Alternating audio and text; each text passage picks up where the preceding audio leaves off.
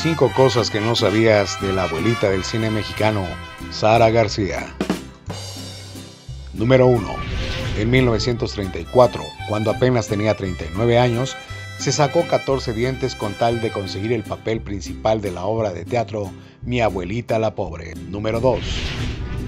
Durante los años 60 y 70 alternó su trabajo en la pantalla grande con la televisión, lo que la mantuvo vigente por más tiempo. En su vida participó en más de 300 películas, además de teatro y telenovelas. Número 3. En 1973 fue convencida por la fábrica de chocolates La Azteca para hacer la imagen en el envase del chocolate de mesa de nombre Abuelita. Años más tarde, la empresa fue comprada por la transnacional Nestlé, la cual conserva la imagen de García con pocas modificaciones. Número 4. La abuelita más querida del cine mexicano murió el 21 de noviembre de 1980 a los 85 años, debido a un paro respiratorio que sufrió después de padecer neumonía.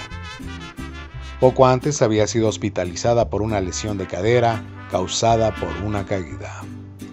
Número 5. Sara García Hidalgo nació en Orizaba, Veracruz, el 8 de septiembre de 1895. En La Polar rendimos homenaje a las madres de ayer, hoy y siempre. Por la razón que sea, felicitamos a las madres todos los días del año. Felicidades, mamá.